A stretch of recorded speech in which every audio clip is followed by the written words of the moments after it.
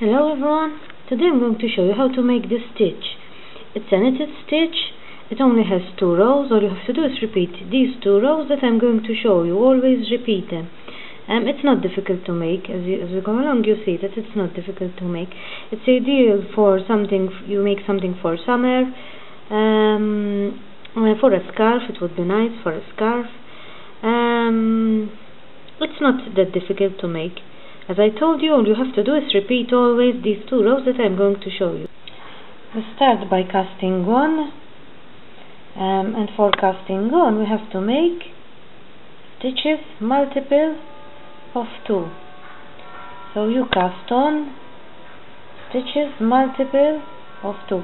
For those who don't know how to cast on, I have a video how to cast on. I have two two methods how you can cast on this is one of them how I like to start uh, my knitting and there is another method.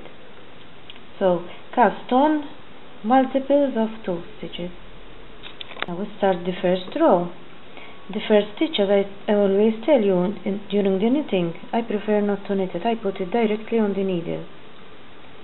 We knit two one and two. We put the thread over here put it like that.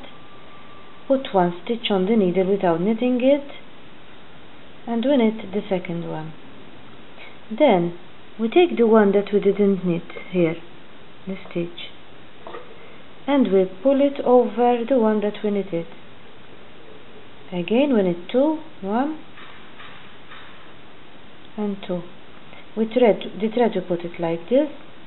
One we don't knit it we knit the other one then we take the stitch that we didn't knit before and we pull it over the other one. Again we knit two one and two. The thread like that one we don't knit it. We knit the other one and we pull the stitch that we didn't knit over that one.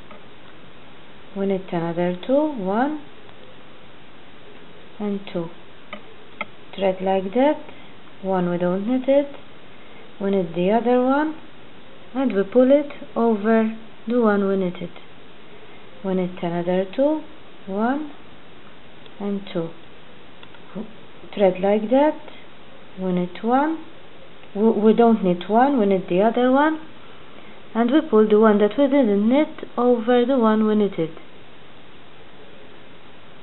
again we need two. One and two. We turn the thread like that. One we don't knit it. We knit the other one and we pull it over the one we knitted and we, we, we're supposed to finish the row. We have one remaining here and the last one we knitted I prefer not to knit it from here. The last one from here. I put the needle over here and I knit it like that. And that is the first row ready. Start the second row. The first stitch I never knitted as I told you before I put it directly on the needle. And we purl the first two the next two one and two.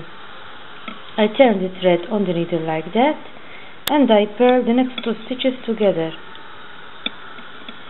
Purl another two one and two turn the thread on the needle like that and purl the next two together. Purl another two one. Two. Turn the thread on the needle and purl two together. Purl the next two one. Two. Turn the thread on the needle and purl the next two together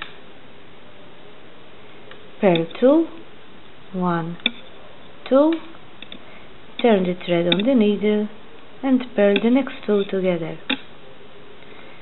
Purl another two. 1 2 turn the thread together and purl the next two together. And we finish with, with the last stitch there. And I, as I told you I prefer to always knit it from here and that is the second row ready those are the two the two rows that you have to learn. Then you do again the first row that I made the first row that I made. Then repeat the second row. Those are the two rows that you have to know. And this is the final result how the pattern, the stitch came. As you have seen, all you have to do is repeat those two, two rows that I showed you. And, and as, as you have seen, it, it's, it's not that difficult to make. It's very beautiful. Um, as a stitch, it's very beautiful. Hope that you found this video useful and that you try it. Bye for now.